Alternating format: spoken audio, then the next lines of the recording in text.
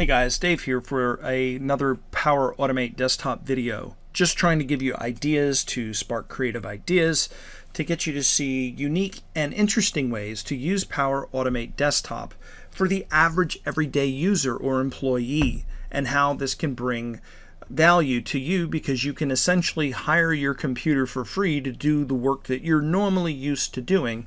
And the, the idea and the goal here is to free up your time so that you can work more uh, on interesting, more, excuse me, work on more interesting things to do during the day and try to not do this boring, monotonous stuff. And here's a great example of something that is absolutely maddening or mind numbing. So I just created a free course on Udemy, and maybe you're in marketing, and maybe you created a bunch of assets or something, right? And so, in any event, here's here's what it is. So I'm using Camtasia, and what happens is is I get a screen recording and then a project file, and then I export the project file to an output that I can put on YouTube or Udemy or whatever, right? And so then it creates this folder, and inside of the folder, here is my generated MP4 file that I can use in the different social media platforms. And the problem that I'm facing right now is, is I created this folder called YouTube.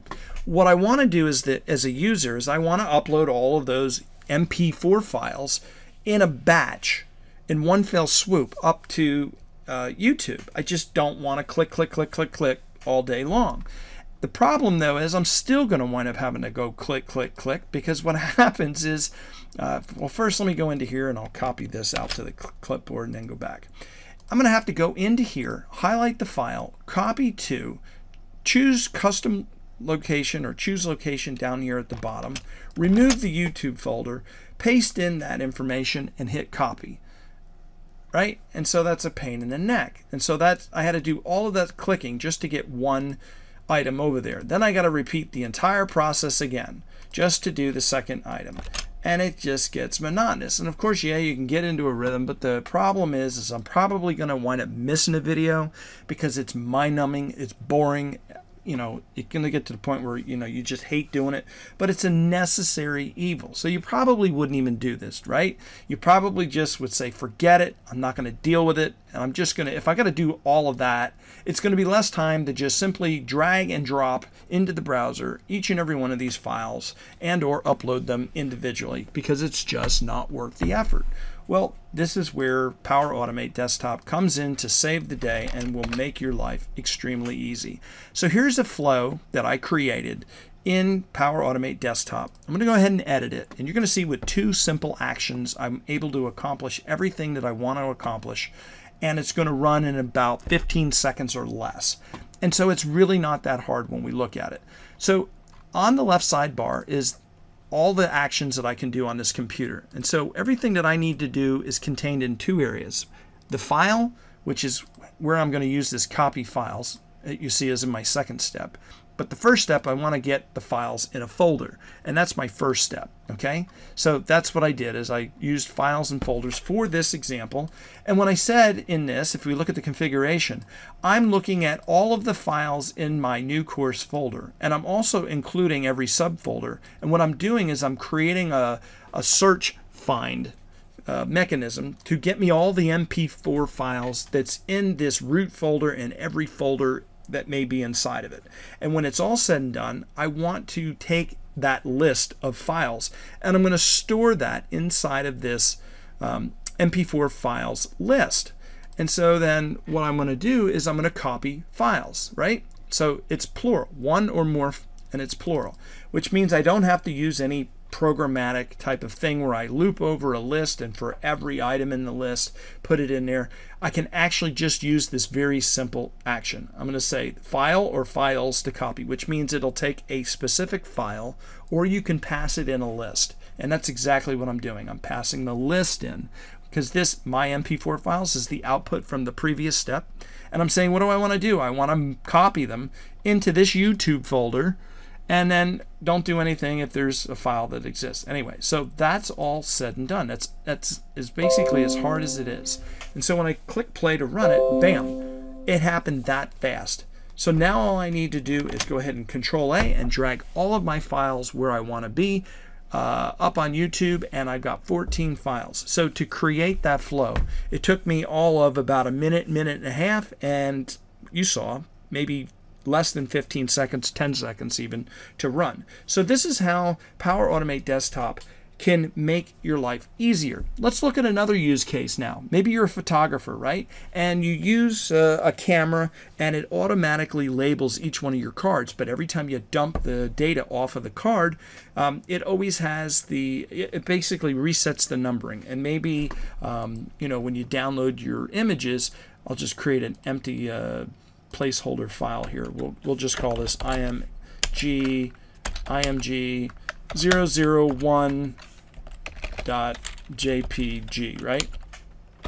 And so what happens is, is now I got this, this image file that's there, but every time I reset the card or format the card or whatever the case, I always get this generic image 001. And so if you do lots of photo shoots, you're going to have lots and lots of files called image 001. Well, maybe you put them all in the same folder.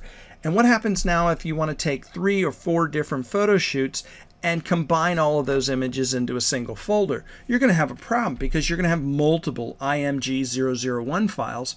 So now you're going to need to rename each and one, every one of those files. So with that being said, let's look at how we could go ahead and say, uh, for example, let's just prefix each one of these file names inside of this folder with my initials, DS, okay? So it's basically going to be ds advanced functions.mp4.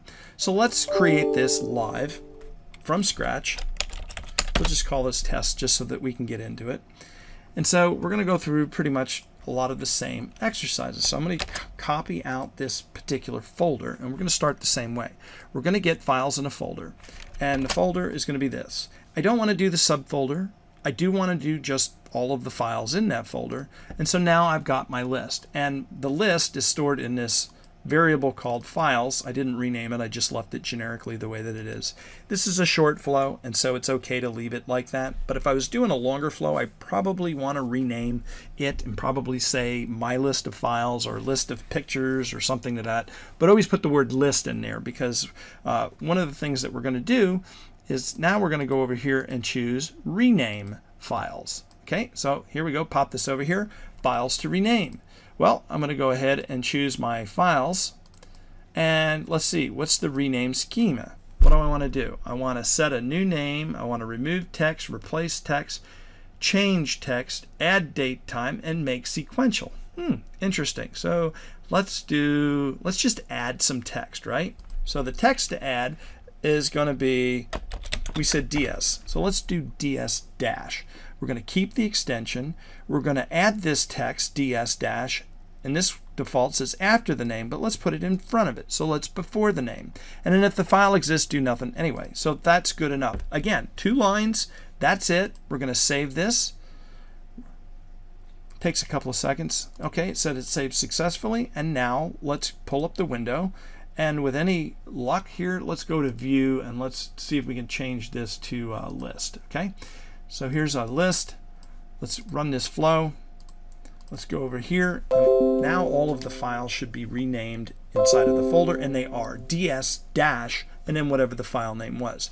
You see how easy that was? So Power Automate can definitely, definitely save you a bunch of time and, you know, this isn't rocket science. There's no programmatic stuff. Again, check out my free course. It'll kind of introduce you to some programmatic terms and how to get the most out of these low code, no code tools so that you can do just regular stuff that you've always done on your computer, but you don't have to spend hours doing it. You spend just a few minutes making a flow to make your life easy, but to go and rename 14 files manually, okay, that might have taken about the same amount of time. But what happens if your photo shoot or you have files in a folder that is in the hundreds.